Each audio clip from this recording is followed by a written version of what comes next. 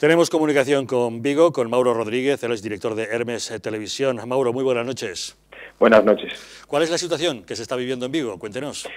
Bueno, la máxima tranquilidad. De momento sí, la policía ha tenido que actuar y ha multado a varias personas por eh, incumplir lo que sería la ordenanza que se nos ha puesto eh, a nivel nacional, pero creo que el uso de que haya venido la Brilat, que es una brigada de intervención rápida, donde yo he militado en dicha hace ya muchos años, pues ya soy mayor, pero no es necesaria. De hecho, yo creo que ver a los militares en la calle y armados no es la misma situación que está en Madrid, donde está la UME, pero aquí en Vigo yo no entiendo que este alcalde socialista que tanto nos vende eh, las luces en Navidad y que tantas cosas nos vende de, de esto, ¿por qué no se intervino en Cataluña, también el ejército, si se había alertado en este tema? O sea, me parece que traer a los militares a Vigo cuando tenemos una policía local fantástica, una policía nacional en Vigo fantástica y una guardia civil fantástica, no hacía falta este, este aquí. Sinceramente, Vigo es una ciudad tranquila, a Dios gracias, y no entendemos esta situación tampoco. Maura, ¿qué, ¿qué, sensación le da ver a los militares patrullando por las calles de Vigo armados? Es como si estuvieran viendo una película, me imagino es que esto no, no, es, no es Bosnia, esto no es el Líbano. Yo he sido militar, he hecho la, la mili, eh, yo iba vestido de militar cuando tenía que ir aquí la antigua a los vigueses saben, a buscar el armamento porque tal, y no era, no ya, ya, hablamos del año 95, y no era muy bueno, no es una imagen.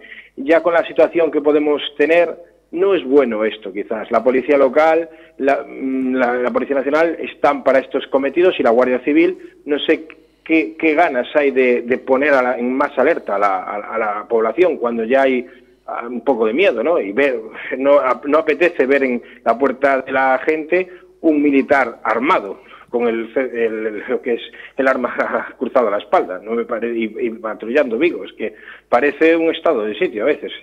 Un alcalde, presidente de la Federación Municipios como Isabel Caballero, no creo que fuese necesario. Sí, que se saltó gente que fue a Samir, que fue a todo ese tema en, las historias, pero de momento yo creo que no deberían haber hecho eso. Y señor Rodríguez, eh, cuéntenos, en principio los eh, ciudadanos de Vigo están respetando la cuarentena y la alarma decretada. ¿Cuál, cuál es la situación de tranquilidad? Eh, sí, pero hay una cosa bastante increíble, es eh, nos mandan estar en casa, pero los, los, los de los eh, trabajadores de la hora que dependen, es una contrata municipal, los están haciendo ir a trabajar, los, la zona azul, la famosa zona azul, los están haciendo ir a trabajar. El ayuntamiento es para que haya rotación de vehículos. Y las contratas de, del ayuntamiento están funcionando, o sea, se siguen haciendo la famosa túnel de la Puerta del Sol, es, es una incongruencia en sí. Sí, no parece que tenga mucho sentido, la verdad, el tema de la zona azul de aparcar si teóricamente la gente no tiene que salir de casa y mover el coche, ¿no? Pues eso es lo que tenemos, o sea, ha habido protesta de los trabajadores, no quiere, no han, han pedido no hacerlo, pero eh, de una, se sigue haciendo, o sea, igual que, ya le digo, los trabajadores eh, que están en, este momento se siguen haciendo trabajos de perforación de un túnel, de eh, cosas que no es, no es normal. O sea, si tú estás diciendo a la gente, quédate en casa, y yo me quedo en casa, pues oye, manda a los trabajadores en ese aspecto. O sea, es una incongruencia más del alcalde de Vigo, que tiene tantas. bueno, veo que, usted le quiere mandar un recado bien claro al señor Abel Caballero. ¿Qué mensaje le quiere enviar el mensaje al, alcalde de Vigo? Yo, yo se lo mando en las ruedas de prensa directamente. Nosotros somos un medio independiente de que él no controla. Él tiene su programa en otro medio de esta ciudad, donde él subvenciona. Subvenciona porque está ahí. Los contratos son que se le da 300.000 euros ahí, están ahí, nosotros somos un medio independiente que decimos la verdad y eso pues a lo mejor aquí no gusta en ese aspecto. Pues y entonces aquí salen todos, la, oposición sale en este programa, acuden al plato de Hermes Televisión, su programa se puede ver, eh, se puede ver como lo estará viendo ahora en directo la gente que lo quiera ver en Hermes Televisión a la noche, entonces por eso.